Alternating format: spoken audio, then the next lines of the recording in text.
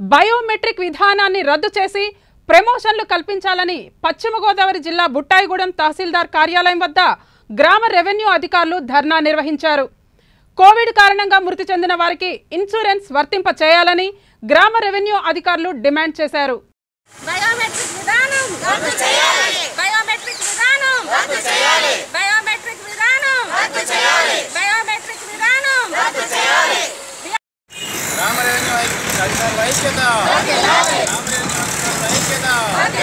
biometric విధానాన్ని biometric విధానాన్ని Rama revenue ఐక్యత రామ రెవెన్యూ అధికారుల ఐక్యత బయోమెట్రిక్ విధానాన్ని